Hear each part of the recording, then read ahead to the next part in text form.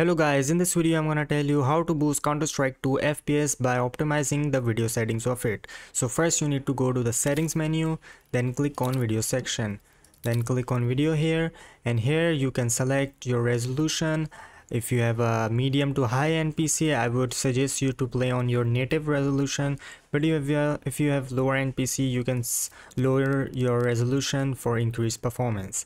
Now click on advanced video section here make sure boost player contrast is set to enable. Unless you have a low end PC you can set it to disable but it will give you a disadvantage because it will be hard for you to spot players if you set the setting to disabled.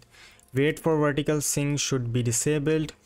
Multisample MSAA. So if you have a medium to high end PC set it to 2x MSAA or 4x but if you have a lower end PC just set this to none global shadow quality would be set to low model texture detail would be set to low shader detail would be set to low particle detail would be set to low ambient occlusion would be set to disable.